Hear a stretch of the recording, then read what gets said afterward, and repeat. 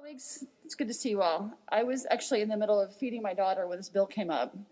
And I ran down on the floor today because I strongly believe we need to pass this bill. We are 3.5 million homes shy of where we need to be right now in this state. and Ellie agrees that we need to, we need to, we absolutely need to pass this bill. And I know it's difficult for some of you. These votes are difficult for some of you, but it's very, very important. And I just come down here in strong support of this bill and urge my colleagues.